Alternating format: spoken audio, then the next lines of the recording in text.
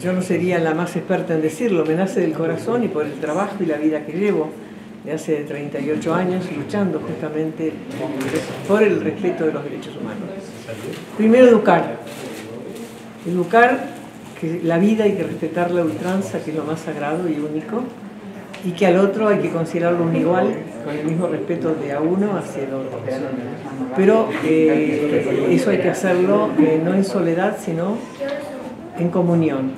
Eh, hay que unirse, unirse en grupos, unirse en actividades, unirse en, acciones para este, que los hechos aberrantes que hemos tenido que sufrir en Latinoamérica no vuelvan a repetirse. No hay fórmulas, cada país lo hace a su manera, pero estamos avanzando.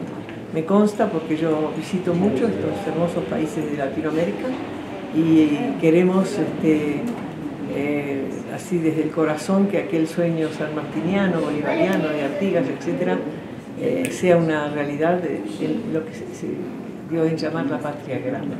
O sea, el respeto a la vida es, tiene que ser universalmente una realidad.